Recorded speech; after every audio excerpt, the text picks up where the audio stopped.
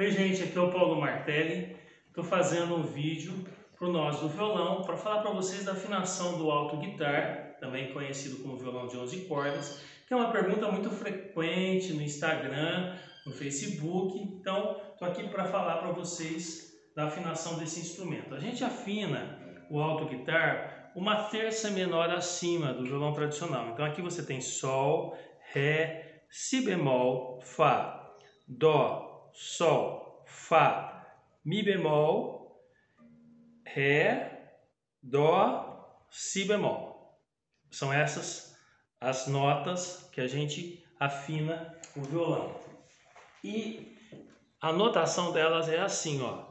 Primeira corda Sol, segunda Ré, terceira Si bemol, quarta Fá, quinta Dó, sexta Sol, sétima Fá, oitava Mi bemol, nona nona corda, Ré, décima corda, Dó, décima primeira corda, Si bemol.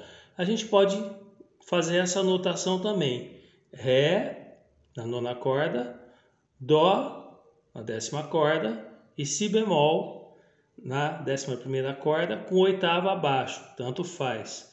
Então, estão aí as notas da afinação do violão de 11 cordas ou alto guitar, que muita gente vive perguntando para mim no Instagram, no Facebook, e eu resolvi gravar esse vídeo para deixar para vocês falando qual é a afinação desse instrumento maravilhoso. Um abraço para todos vocês. Até mais.